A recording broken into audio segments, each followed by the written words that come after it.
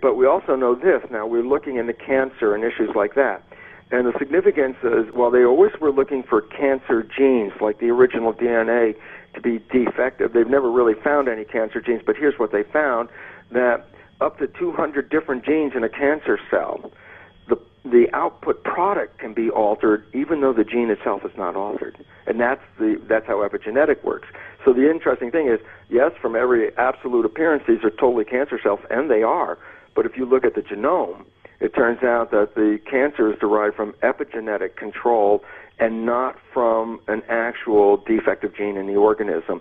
So basically, in both these cases, it says that that while we've always focused on the blueprint, the gene blueprint, as the source of our problems, now it's shifting to the source of the problem is the readout of the blueprint, uh, which is then controlled by epigenetics. And and so then, how does this relate to humans? Well, uh, the biggest thing it relates to humans is, uh, uh, for example, in placebo effects, where the belief of the person will change the the expression, the genetic expression, so that uh, even to the case of what you might call a spontaneous remission, which is almost inevitably tied to somebody have a profound change in their perception or belief about life, leading to that. So we're finding that epigenetics uh, can uh, uh, you know be responsible for uh, diseases, but it also through a concept called the placebo effect. Epigenetics can also be responsible for healing.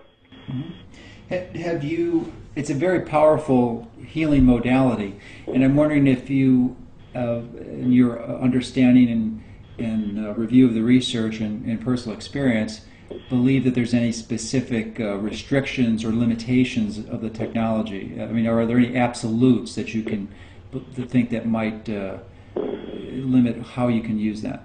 Well, uh, and this is hard for me to say coming from the allopathic conventional world of life. No, I don't think there are limitations.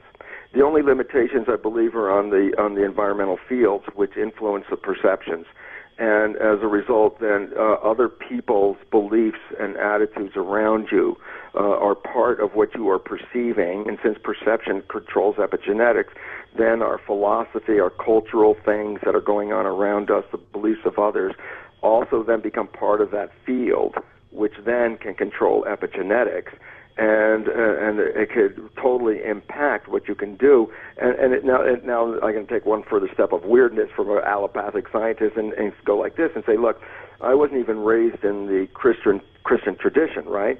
But the reality is when when Jesus actually said you could renew your life with your beliefs, this now in an understanding of epigenetics is is actually profoundly true. This is exactly how it works.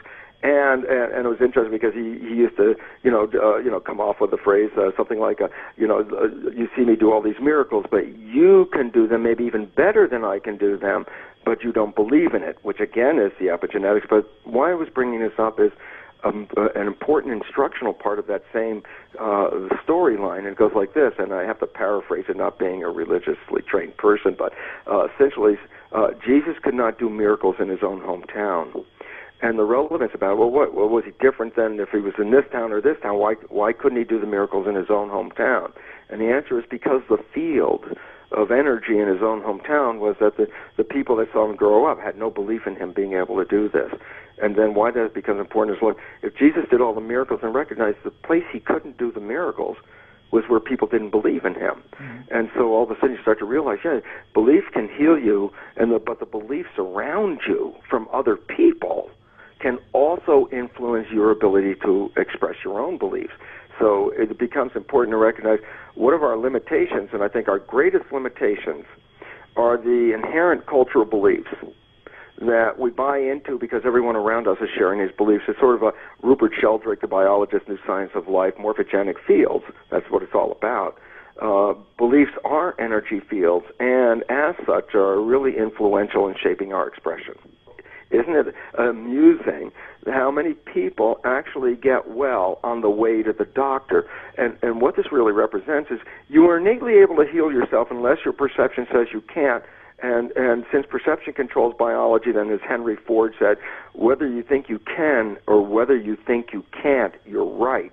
And, and we have to understand this because and it's interesting because there's actually a word to describe this in the medical field, and we don't talk about it in the public a lot. Well, we talk about the word placebo, which means a mm-hmm. positive thought can heal you even if I just give you a sugar pill. As long as you think this is what's going to make it work, mm-hmm. you'll get healed. And obviously, it wasn't a pill; it was just a sugar pill. Mm-hmm. That that's the positive consequence of a of a thought in a placebo effect. And yet, science also recognizes but does not talk to people about what is called the nocebo effect. The nocebo effect is when you actually have a belief that uh, is a negative belief.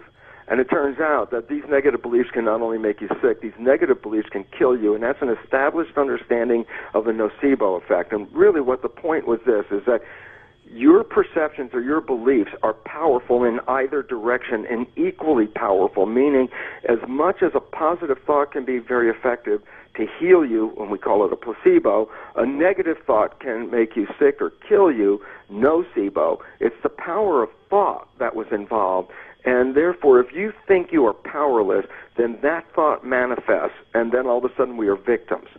And this is this is an unfortunate situation because we have it, it is a programming of victimization. There's been history and years and years of histories of people healing themselves that conventional medicine even denies, and, and it's right in front of their face. And, and the reality is because if you own it, then you have to say, well, if it works, why can't I use it? and that becomes the problem because basically we're dis- we've discounted forever the concept of mind and belief because we bought into the concept of genes. Mm-hmm. And and so then you say, oh no, it had nothing to do with you. It had to do with your genes. It's like no, the new science has everything to do with your belief.